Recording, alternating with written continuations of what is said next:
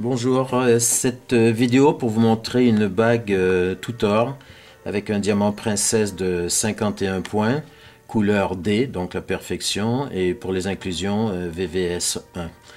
Et puis de chaque côté, deux diamants de 3 centièmes certigrain. D'ailleurs, avec les photos que je vais vous montrer, je vais expliquer rapidement le principe du certigrain et de la question des, grains qui doivent être dégagés euh, tout autour, y compris dans le dos du grain. Mais je ferai un jour une vidéo que sur le certigrain. Et là, la première chose, c'était de vous présenter cette bague. Donc euh, voilà à quoi elle ressemble. C'est une bague qui est destinée à être portée avec une alliance, euh, avec des diamants tout autour. Donc l'alliance passera en dessous. Donc cette bague-là pourrait être portée d'un côté ou de l'autre parce qu'effectivement, euh, il y a l'espace pour mettre l'alliance en question. Donc, il faut imaginer cette bague avec une alliance éternité à côté qui a une largeur, je crois, si je me rappelle bien, euh, très similaire à celle-ci. Je crois que c'est une alliance avec des diamants de 5 centièmes tout autour. Donc voilà, je vais vous montrer un peu toutes les étapes qui ont, euh, qui ont été faites pour arriver à cette bague. Alors bien sûr, c'est hors 18 carats, ça, ça va de soi. Moins que 18 carats, je, n'arrive pas à comprendre. Bon, je mets ça de côté pour tout de suite. Alors, tout commence par euh, un plané à 17 dixièmes et découpé à la scie euh, enfin d'abord une plaque dont la largeur est parfaitement euh, parallèle avec euh, une quantité prévue pour le futur certiclo. Et en faisant une plaque comme ça ça me permet à la scie d'ouvrir euh, facilement et de pouvoir tenir jusqu'à ce que la pierre le, le feuilletis du diamant arrive à ras partout. Donc ensuite je vais pouvoir couper ici Donc, euh, vu que la bague, il était prévu de faire euh, un double entourage, un peu comme un encadrement supplémentaire au certiclo. Alors, une fois la certissure prête, euh, je l'ai soudé parfaitement au centre de ce deuxième carré. Ça, c'est vu de dessous. Donc, les soudures ont été faites. en fait, cette certissure, certissure entrait un peu dans cette plaque donc comme ceci, ce qui m'a permis d'avoir la certitude avec un pied à coulisse que tout ça était parfaitement parallèle. Et la soudure s'est faite à l'extérieur et j'ai vérifié qu'à l'intérieur, une fois soudée, la, soudure était visible partout à l'intérieur. Donc voilà les, les étages qui ont été faits, ça s'est gravé à l'échoppe tout simplement. Et j'ai fait exprès de faire un angle pour que cet entourage ne soit pas plat mais qu'il descende légèrement. Et là, ici, la pierre n'est pas complètement descendue, mais j'ai cassé l'angle d'avance pour faire un chanfrein qui facilite le sertissage euh, à la fin. Alors ici, euh, il me fallait un, battage euh, sous cette pièce ici pour pouvoir compenser la différence de hauteur sur les bords par rapport au, fait que l'alliance devrait aller en dessous. Donc j'avais besoin d'une partie ici qui finalement aura été creusé comme ceci une fois que tout le truc a été posé. Donc ici 16 dixièmes et ce petit battage ici 9 dixièmes euh, suffisait. Donc ici la, mise à jour carré que j'ai fait sous les, sous les futures pierres euh, certigraines. Alors c'est une mise à jour qui ne se voit pratiquement pas, il faut regarder sous les picots, mais c'est quelque chose que je ne peux pas m'empêcher de faire. S'il y a possibilité de faire une mise à jour carrée, je le fais toujours. Voilà. Alors le, le fameux certigrain. Alors ici les diamants ont été enfoncés complètement, c'est-à-dire que la table ne dépasse pas du tout le niveau. Ici j'ai cassé euh, l'intérieur, ici enfin le, milieu, la, section entre les deux pierres. Je l'ai cassé avec une échoppe euh, pointue comme celle-ci. Euh, c'est avec cette échoppe, donc une échoppe dont les bords sont légèrement arrondis. Et j'ai creusé ici au centre parce que c'est du métal qui, n'a pas lieu d'être à cet endroit. Et ensuite, avec cette même échoppe, j'ai creusé tout autour une rigole pour avoir des pierres rondes euh, inclus dans un, dans un carré et de sorte à ce que les futurs grains soient parfaitement positionnés et aussi surtout que ça me permette de pousser en piquant l'échoppe dans des endroits très précis. Donc, en, sachant exactement où je vais pouvoir piquer les chopes pour déplacer cette masse, parce qu'un grain, ce n'est pas quelque chose qui est soulevé. Un grain, c'est une masse de métal qui est déplacée latéralement pour, euh, pour se pencher et être légèrement au-dessus du feuilletis de la pierre. C'est pour ça qu'il est important que la pierre soit complètement enfoncée, de sorte à ce que ce métal puisse se déplacer. Donc pour euh, imaginer cette zone ici, eh bien une fois qu'elle sera poussée, elle sera ici. Voilà, c'est ça un grain. Un grain, c'est une masse déplacée vers la pierre et non pas relevée ou labourée comme on pourrait imaginer. Donc l'expression lever un grain, elle est juste parce que de profil, on peut voir peut-être une très très légère boursouflure vu que le métal est déplacé et poussé fortement. Mais encore une fois, un grain, c'est du métal déplacé latéralement et non pas labouré.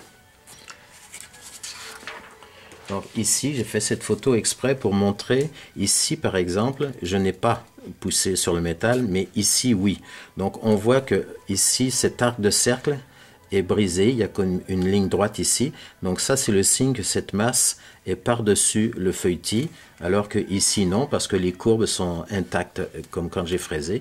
Et on voit ici cette ligne droite, parce que ici, toute cette zone, j'ai poussé avec l'échoppe, toujours euh, celle-ci, qui m'a permis... D'ailleurs, quand on pousse un grain, on pousse avec des échoppes qui ont des bords ventrus, comme ceci. Les échoppes parfaitement pointues, parfaitement rectilignes, ne servent qu'à dégager les filets.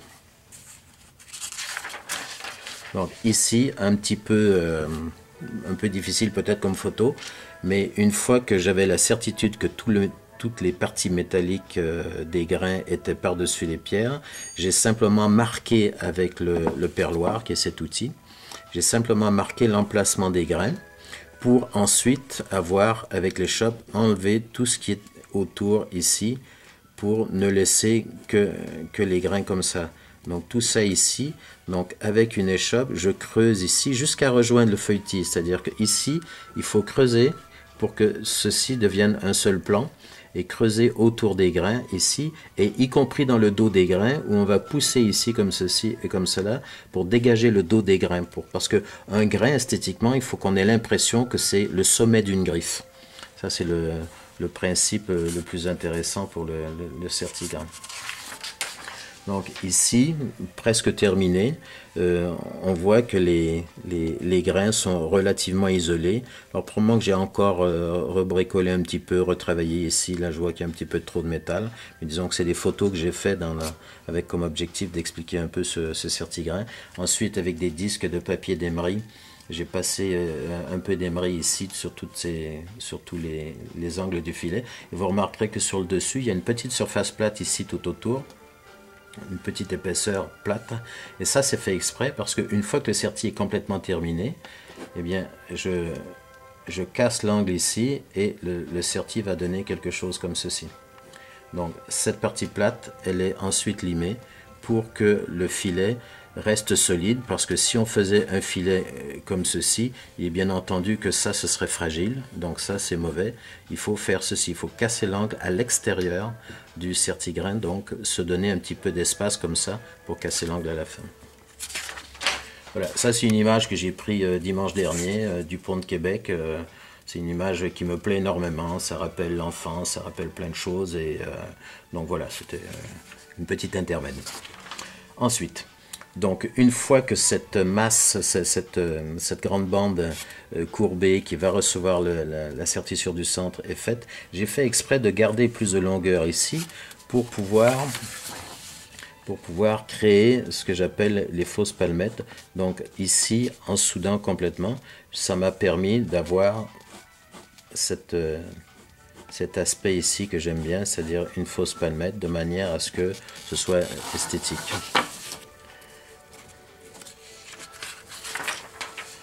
Alors la sertissure du centre pour le, diamant princesse, euh, je ne voulais pas que ce soit seulement soudé ici, et donc que ça puisse, disons, être quelque chose qui donnerait l'impression d'être fragile.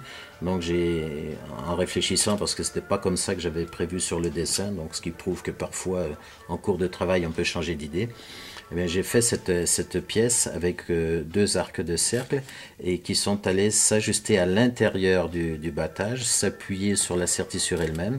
Donc une fois que ceci a été soudé des deux côtés et ça soudé sur, euh, euh, sur le, le battage dans le bas de la bague, c'est certain que c'est d'une solidité totale. Donc on le voit ici, cette fameuse courbe. En fait, cette fameuse courbe va jusqu'ici, à l'intérieur. Ici, elle a été limée. Donc, ça, ça va à l'intérieur. Donc, j'ai la certitude que cette sertissure soudée ici, par cette courbe, euh, devient quelque chose d'extrêmement solide. Et toute cette zone ici, ben, j'ai rajouté deux picots. Je crois qu'il y a une photo. Alors ici, là, le, le, fameux bata, la fameuse fausse palmette, qui en réalité est une même pièce qui vient ici de... Donc tout ça, c'est un seul et même morceau. Voilà. Ici, les picots qui ont été rajoutés, si je me rappelle bien, c'est du fil à 8 dixièmes qui est rentré, j'ai rentré euh, complètement d'un côté et de l'autre. Donc, euh, j'ai fait 8 euh, soudures de chaque côté, donc 2 par picot et sur les deux côtés. Donc, le résultat final de cette bague qui a un côté contemporain, un côté euh, classique et surtout qui, accompagné de l'alliance diamant, euh, donnera un effet absolument superbe, j'en suis certain. Voilà, je vous souhaite une bonne journée et puis euh, c'est certain que je ferai une vidéo sur le certigrain, mais probablement plutôt vers le mois d'août, je pense, parce que je voudrais faire deux ou trois bagues pour montrer les différentes étapes ainsi que des gestes sur la manière de pousser les, les certigrains. Voilà, je vous remercie, belle journée.